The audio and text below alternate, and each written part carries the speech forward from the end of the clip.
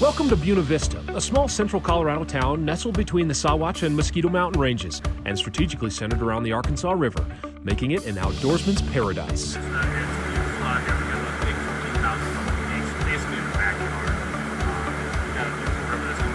Anything you can dream of to enjoy Colorado's great outdoors, you'll find here in Buena Vista.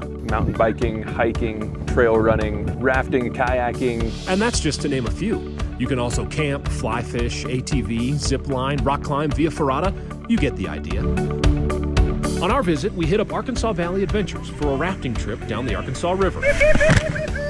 There are rapids fit for anyone on the Arkansas. Now, my wife told me not to tackle any big waves, and the folks at AVA obliged by taking me on a novice section of the river. But trust me, you can find some gnarly holes too. I think the thrill of whitewater rafting is just not knowing what you're getting yourself into. Not knowing what's around the corner, having that excitement of seeing something new. We're on the narrow section of the Arkansas River. Ask Chris, our paddle captain, and he'll tell you there's no bad time to get in a boat, but prime time is between May 1st and Labor Day, with high water in the beginning of June before it mellows out later in the summer.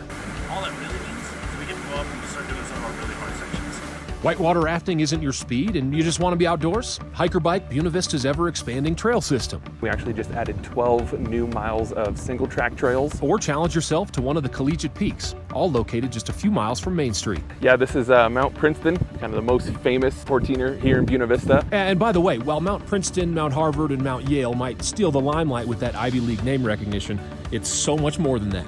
Buena Vista is located in Chaffee County, home to the highest concentration of 14ers in Colorado.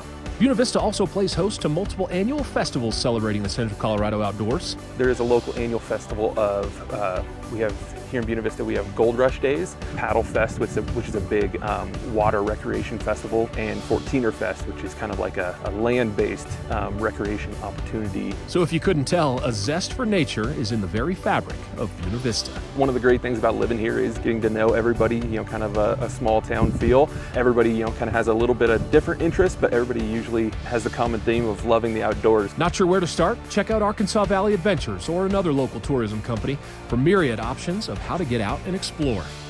For Denver 7 and Discover Colorado, I'm Landon Haaf. For more great Discover Colorado travel destination ideas, visit AAA.com/stories and check out the latest edition of AAA Colorado's Encompass magazine.